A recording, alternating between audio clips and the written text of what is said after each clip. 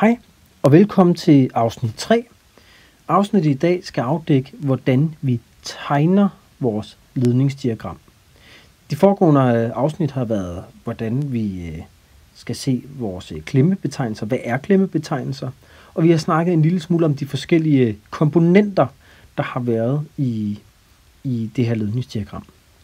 I dag vil jeg prøve at klargøre for jer, men hvordan skal vi så læse et ledningsdiagram? Og til at starte med, så vil jeg tegne komponenterne, som hvis vi nu har stået og kigget på dem, for så senere at vise et rigtigt ledningsdiagram, øh, hvordan det ser ud, afkode det, og så skal vi prøve at, at tegne et rigtigt ledningsdiagram. Lige til at starte med, der vil jeg bare tegne, som man måske vil, hvis man øh, kigger på det, så vil man kunne se, forhåbentlig tegner jeg ikke så godt, det her, det skal ligne et batteri, eller en akkumulator. Herover der har vi vores nøgle, vores nøgle til tændingen.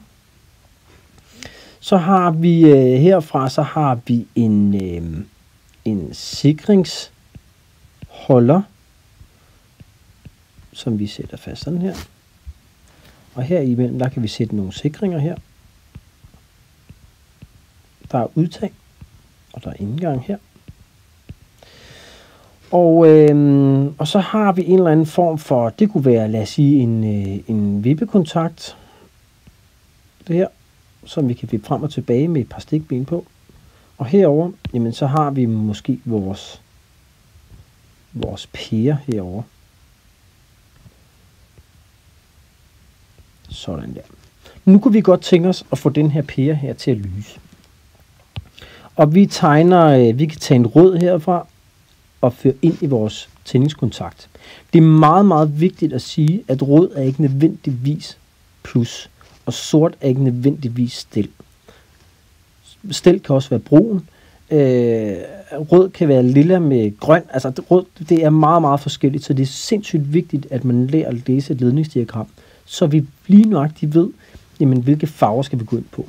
Men for nemhedens skyld, og nu er vi i gang med at lære, så bruger jeg rød som plus her, og jeg bruger sort som stil, så I måske bedre kan finde ud af det. Men bare I er opmærksom på, at det er altså ikke en regel, at det er sådan her.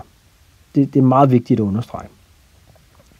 Jeg kører en øh, ledning direkte ind til vores øh, tenniskontakt her, og ledningen her kører videre ud til vores, vores sikring her. Fra sikringen her kører den over i vores kontakt her, og fra kontakten her kører den videre og ind i bunden af pæren her. Så her fra, fra siden af, kan man sige, det kører vi ud her, og så kører vi over, op og ned på vores stil. Sådan her vil man kunne tænde ved at, at sige øh, on, off. Jamen så her, så har vi faktisk tændt for vores, vores pære.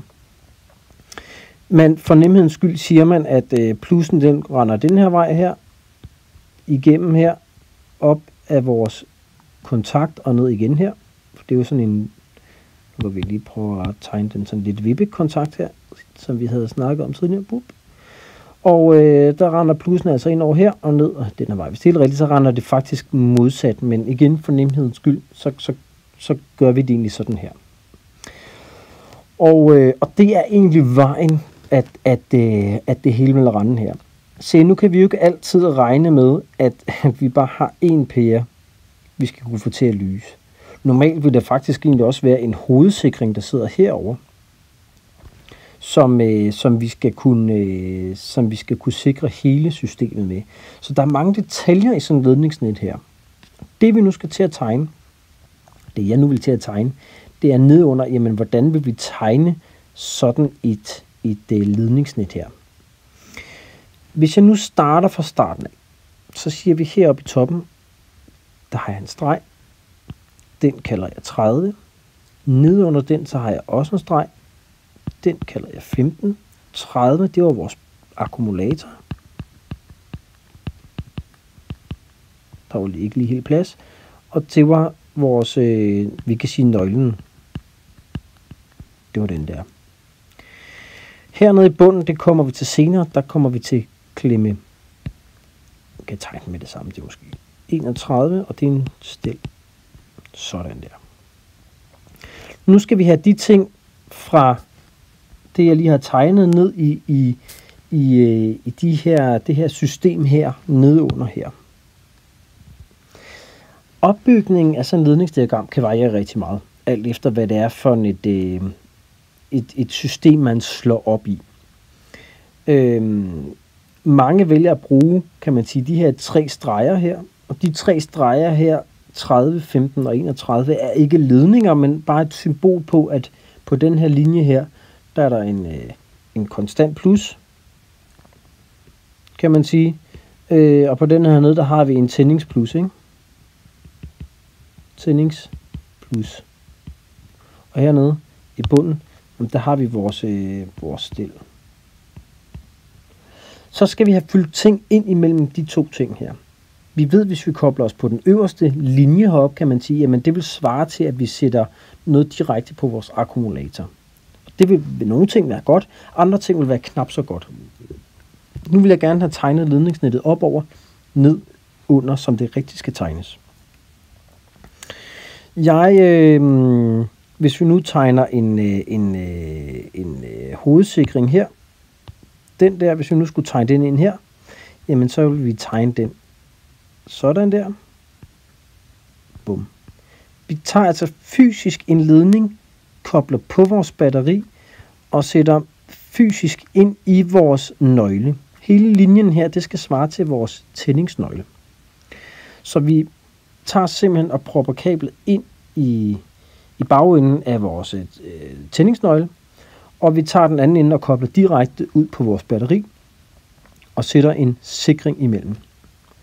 Så det punkt her, det vil være det punkt her. Man kan sige, det punkt her, det vil være det punkt der. Og omvendt herom. Sådan der. Og sådan der. Bum. Så nu skal vi jo så til at have koblet en, en eller anden form for sikring på den her kontakt videre til den her pære her.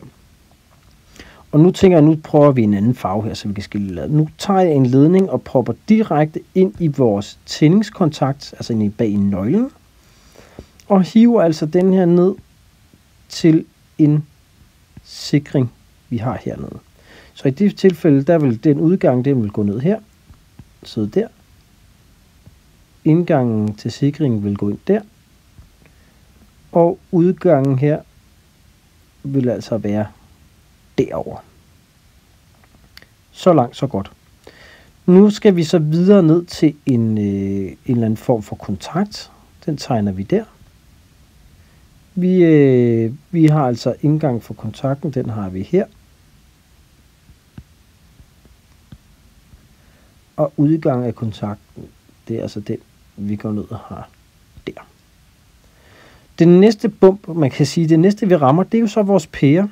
Og nu kan jeg prøve at tegne den her med, med gul, så det måske giver lidt mere mening. Sådan der. Vi har altså, øh, vi har indgangen, den har vi der. Og man kan sige, at vores stilforbindelse, som vi kører ud af pæren, den kører vi ned her montere monterer med, med sådan en prik. Det er jo igen vigtigt at huske det. Og det vil sige, at udgangen der fra pæren af, det er altså den, vi ser der.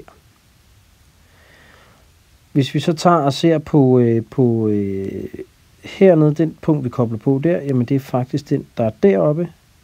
Sådan der. Det er egentlig sådan her, nede i bunden hernede, man egentlig vil tegne et, et simpelt ledningsdiagram. Øhm, hvis vi bladrer lidt videre, så kan jeg prøve at, så kan vi lige prøve at tage den forfra uden en masse pile. Så vi har 30, vi har 15, og vi har 31. Vi kører en ledning der, eller ikke en ledning, vi kører et punkt der, et punkt der og et punkt der. Vi kobler ledning på akkumulatoren direkte ind i vores tændingskontakt, og så monterer vi en hovedsikring her, for at sikre hele, kan man sige, den her linje her. Et eller andet sted bag i vores tændingskontakt, der monterer vi et stik, der går ud til en sikring, fordi vi skal jo sikre den ledning her ud til en kontakt, så vi kan tænde og slukke for den pære her, der så går ned og har øh, fat i stillen hernede. Sådan. Stil. TP tændingsplus og en konstant plus. Sådan der. Det her vil være et simpelt ledningsdiagram. Jamen Martin, nu har vi jo to forlygter. Hvad gør vi så? Nu skal I se. Så tager vi simpelthen bare og kobler en ekstra pære på her. Sætter et kryds som symbol på pære. Og så er der mange, der gør sådan her. Og det er forbudt. Det må vi ikke. Vi trækker altså heroppe fra plusledningen her. Hapser vi os ind på, går vi ned og monterer i pæren sådan der. Læg mærke til, at her der tegner ikke nogen prik, fordi det er en ledning, jeg kører hele vejen. Den er ikke samlet med nogen andre. Nedenunder, så kan jeg gøre to ting. Den ene ting, det er direkte herned og koble os på her. Det vil være fint, det må man gerne. Men hvis man har et rimelig stort ledningsnet, ledningsdiagram, så vil man gøre sådan her i stedet for. Og koble sig på derovre. Så har vi nemlig kun én streg, kan man sige, der går ned til, hvis man nu har rigtig mange ting. Lad os sige, at vi har øh, mange pærer derudad. Så kan I godt se, hvis man så tegner en masse streger ned her, men så alt det plads her, det bliver jo fyldt af streger, der kan vi ikke tegne noget ind bagved. Hvorimod, hvis man så havde en masse pærer derhen af der, man kørte dem alle sammen hen, ned der, på, bup, bup, bup, men så har vi jo alt det plads, at vi egentlig kan proppe flere ting ind i vores ledningsnet på. Kan I se det? Så på den måde, så frigør vi lidt plads ved at gøre det på, på, øh, på den her måde herover. Men begge dele er altså, altså i jorden. Nu vil jeg prøve at præsentere for et rigtigt ledningsnet. Altså, hvordan ser det ud sådan her, når vi nu går ind i vores system og kigger på det. Nå, men vi kan i hvert fald se, at nogle af tingene har vi set før. Og hvis vi prøver at gå ind og, og redigere i den her, og så skal I prøve at se en gang her. Hvad har vi set før? Jamen, hernede, der har vi i hvert fald, der har vi en pære, kan vi se. Det er pæresymbolet, det der. Heroppe, der har vi, øh, der har vi en kontakt, kan vi se. Den har vi der. Vi har, øh, vi har vores, øh, vi har vores multikontakt. Den har vi egentlig, den kan vi tage heroverfra. Og det kan vi se, at vi har en kontakt her, og vi har en kontakt her. Og de er begge to forbundet med den her stiplede linje. Så når jeg rykker den kontakt herover, så rykker jeg samtidig med den kontakt derover også. De to, de er altså forbundet med, øh, med, den her, med den her stiplede linje, ligesom I kan se, den er hernede også. Så rykker jeg den her over, så rykker jeg resten dernede af også. Her har vi vores data på, hvilken udgang. Her står der 50, og det vil sige, det er, hvis vi skal måle i den boks, der faktisk ligger her, så har den en udgang, der hedder øh, x, vi har her, der hedder 15, og vi har 50, 30 og 30. Og hvis I lægger mærke til 30'erne her, hvor de er placeret, jamen de er placeret heroppe i toppen. Der. Så hvis vi nu tegner en rød ind hen der, ned der. I skal se, der er ligesom Google Maps. Hvor havner vi henne? Vi havner direkte op herop på, og oh, sjov nok, klem 30. Det her skal læses som i Google Maps. Det vil sige, vi skal et sted her, heroppe fra, og vi skal måske herned til. Hvilken vej skal vi gå? Hvilken del af labyrinten skal vi, skal vi i gang med her? Så lad os sige, at vi, øh, vi, øh, vi starter baglæns fra. Vi snyder en lille smule. Vi kunne have taget den op for klem 30, hvor vi er akkumulatoren, men vi starter nede ved den pære, vi godt kunne tænke os at vide. Det gør det en lille smule nemmere. Se, nu tager jeg lige at viske ud her. fordi det gør det en lille smule nemmere, når vi skal til at tegne her. Hernede fra pæren af, lad os tage øh, den pære, hov, skal vi lige have noget farve på. Lad os tage den pære hernede som eksempel. Nu kører jeg opad her, så det vil sige, at der kommer en plus herfra, derfra. Og hvad er det første, vi rammer her? Det er en sikring, kan jeg se, på 5 ampere her. Vi kører videre op, og der er et samlingspunkt, så det vil sige, at jeg kan gå denne her vej, og jeg kan gå denne her vej. Så det vil sige, at på den her, der ligger der en plus, og på denne her linje, der ligger der en plus.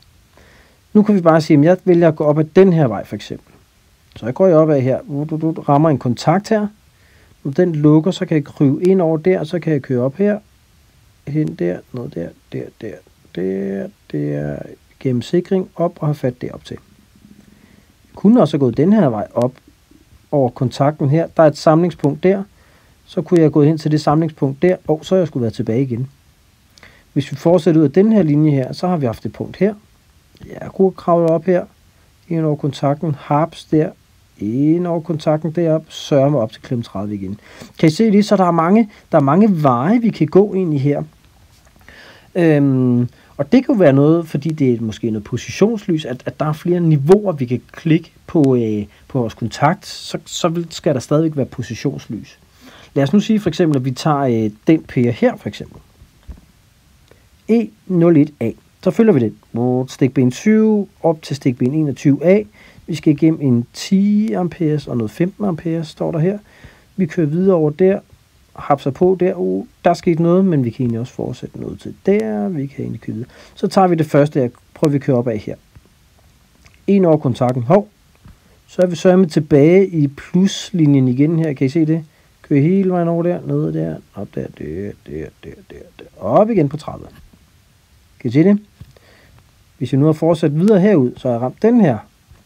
Så havde vi kørt op til stikben 7 og måtte vente til kontakten her ligesom kommer herover til, hoppet op på den, og så er vi tilbage herover igen.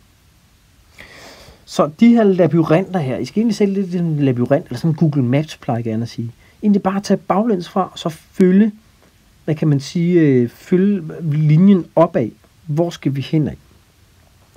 Når vi nu bygger det, som vi gjorde selv før, så starter vi jo heroppe i toppen, og så bygger vi det hele nedad i stedet for.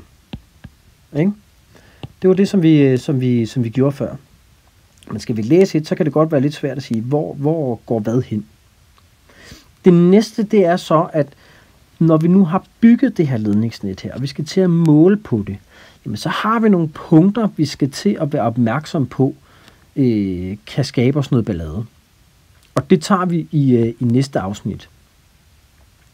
Nu her, der har vi i hvert fald bygget et meget, meget simpelt ledningsdiagram her. Altså fra, fra, fra plussen herop, vi går ned her, stopper vi der, så går vi hen, og så var der et punkt her, vi kunne gå ned, igennem en sikring, hoppe ind over en kontakt, og der var et punkt her, vi kan gå den her vej ud, og vi kan gå den der vej ned til en pære der, og til en pære der, og så har vi lige pludselig noget lys, når den kontakt der, den er, den er vippet. Der kunne være mere, man kunne bygge på. Vi kunne bygge masser af kontakter, trykkontakter. Lad os sige, at vi skal sætte noget stoplys på. Jeg kan starte med at bygge to pærer. Laver vi dem røde. Vi vil gerne have en øh, rød ind her. Det må godt være lidt tyk der. Jeg vil gerne have, at der skal være stoplys på, uanset om min nøgle sidder i eller ej. Så det vil sige, at jeg kobler mig på 30'eren op, for det er jo konstant plus. Og så trækker jeg simpelthen den her ned her, til en øh, kontakt, der hedder en trykkontakt. Den tog sådan her ud. Og så derfra, så kører vi ned her, og så fordeler vi dem ud til de to der. Heroppe, der sætter vi en sikring på den line, der går ned dertil. Og voilà, så mangler vi sådan set bare lige en stilleforbindelse her. Og sådan der. Og nu, hver gang jeg trykker på den kontakt der, jamen så har vi altså en plus, der løber hele vejen ned igennem dertil og så har vi stillen, der ligger her på den, på den anden side af vores forbruger, som i det tilfælde her er en pære. Skulle det være blinklys, jamen så skal vi til at sætte nogle relæer og nogle ting ind. Det var det for, for det her afsnit her. Øhm, følg med et afsnit, hvor jeg ligesom tænker, at jeg vil gå ind over i mere i dybden med, med, med ledningsdiagrammerne. Jeg tænker, at vi går, vi går ind og snakker en lille smule om, men hvad er det for nogle relætyper? Hvordan indsætter vi et, øh, et arbejdsrelæ? Hvordan indsætter vi et blinklysrelæ?